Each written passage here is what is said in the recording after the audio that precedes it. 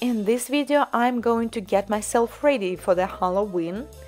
Swatch Saviland acrylic kit that glows in the dark and will share a really scary story that happened 3 years ago in Russian nail community. Coming up. Hello guys, Anastasia here and I have a new package from Saviland. Let's take a look at this acrylic powder nail kit. Ooh, they're located differently. We have 10 acrylic colors, small jars. They always come with a protective seal so you do not need to worry about spilling during transportation because it never happens. This kit includes mostly neon colors, but these are not ordinary colors. They also glow in the dark and each color glows in a different way when the lights are out. I'm using Saviland products for quite a while now, I think for more than one year, and I love their acrylic powders. The quality is really good, it's easy to apply, and most colors have a very intense pigment, so you do not need to apply a thick layer to get the color. I love this one, however, I do not know why it's called coral red. I would call it light orange or peach but it's cute. And then we have an actual neon orange color. Saviland acrylic powders, the color powders, they are slow setting, but I would say they're reasonably slow setting. So they do not set too fast, but on the other hand, it's not like you need to sit and wait until it cures. But it also depends on the monomer that you're using. China Red is a classic red color, also perfect for Halloween. Probably will using this one too. Then we have purple.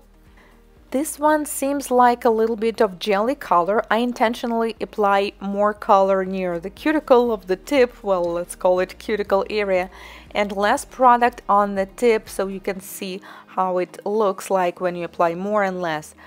I like this blue color so much. Oh man, that's the moment when you feel sad that you only have uh, five fingers on one hand. You know, I definitely need more and I need to redo only my left hand.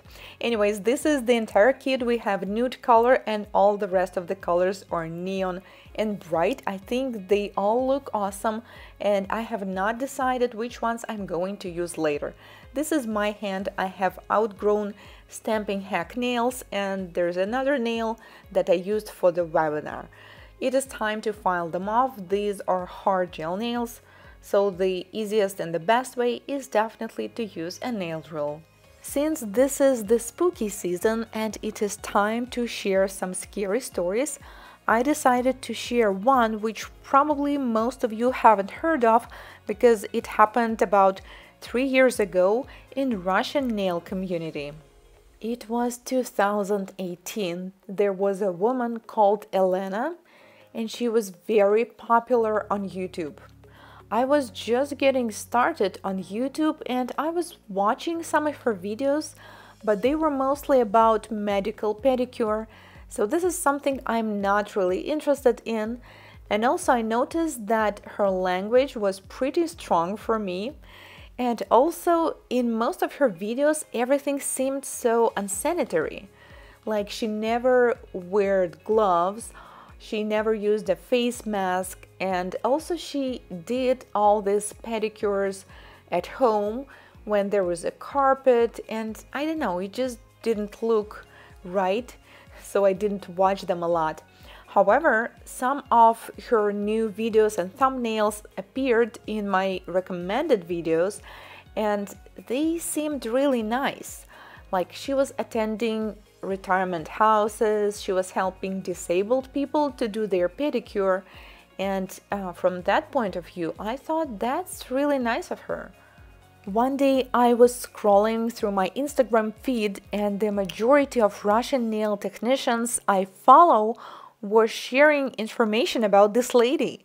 Like she's dangerous, she injured few clients like really bad. And there was even the hashtag and a special Instagram account dedicated to it that said Stop Dzyk. Dzyk uh, is her last name, so this hashtag technically meant stop her. they were sharing these terrible graphic images of the people she injured. It was so scary. Meanwhile, I did manicure and these are my clean nails. I actually like the look of them, but I think they will look even better with new extensions. So I fit the form, apply the hydrator, non-acid primer, and I'm going to start with the clear. I always build the base first. It is important not to apply clear just on the free edge, but also to apply it on the nail plate area because the best adhesion is always with the clear product. Getting back to the story, these images, these hashtags spread through the social media like a wildfire. It was everywhere on YouTube, on Twitter, on Facebook, on Instagram, and then it started to appear on the news. And there were local shows, you know, like the show when they discuss some kind of weird situations. And it was all over these shows. And these victims were attending it but i think she never showed up to any of the show.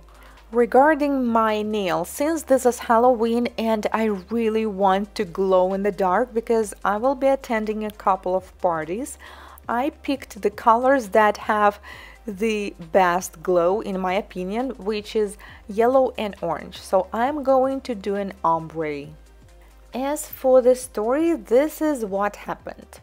There were few victims that were actually injured during her class.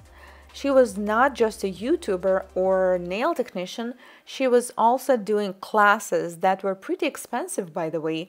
For five days, you need to pay 800 US dollars, and this is a lot of money for Russia.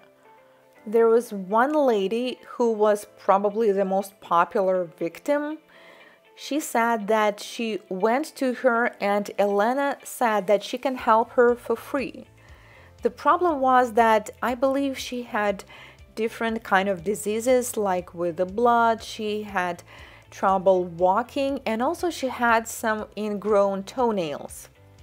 And Elena's philosophy was that all problems that we have like seriously almost all of the problems it was in one of her earlier videos are due to hydra. Hydra is kind of the name of the special bacteria. By the way i googled it and i nobody ever heard of it so this hydra lives under the toenails so once you extract the toenail you will never experience any kind of problems again like seriously, when I heard it from my friend, I thought it's like a joke. I mean, she cannot be serious, but she actually shared it all in her videos. And what's even more scary, people believed it for some reason. Oh my god, my nails look like a candy corn. But my intention is to do Halloween nails, so we proceed and on the thumb I'm going to use that blue color that I liked a lot. So since Elena's philosophy was the best way to treat any kind of disease. It doesn't matter whether it's a blood clot, cancer, or anything else, or just an ingrown nail. The best way to treat it is to extract toenails, and once they grow back, it will be all good. The problem is with some people that she helped, in this way, it was okay. The nails grew back and it was all good but most of them had some serious diseases and it never happened. So they just attended her classes. She was using anesthesia.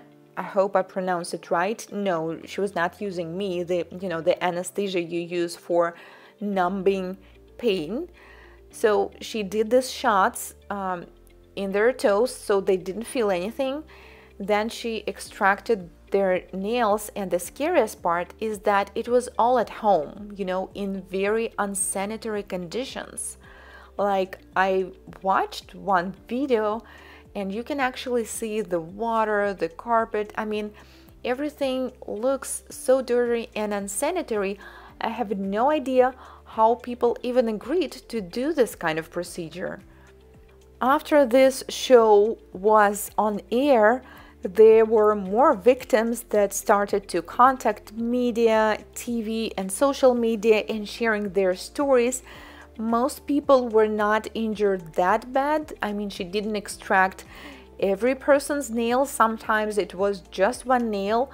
What's interesting that even some people who attended her classes started to show up and record some kind of videos and explaining that when they were at her house, it felt weird, you know, they cannot tell whether they were hypnotized or something, but they like cannot explain why they were just standing there and watching what she was doing, even though some of them realized it was wrong. Meanwhile, I shaped and buffed the nails and they already glow in the dark, but we need to do the design. We need to make it more spooky, so I'm going to use black gel paint and add some crooked trees, a house, and probably something else. Well, we'll see it in a few seconds. This is the scary story I wanted to share with you today. I'm not sure if there was a happy end. I mean, I have no idea where she is now, but I know that police was looking for her, and this is probably a rumor, so I have no idea whether it's true or not. But some people were saying that she was in jail for quite a while already, like she spent a few years there and I've never met her in person, so I have no idea whether it's true or not.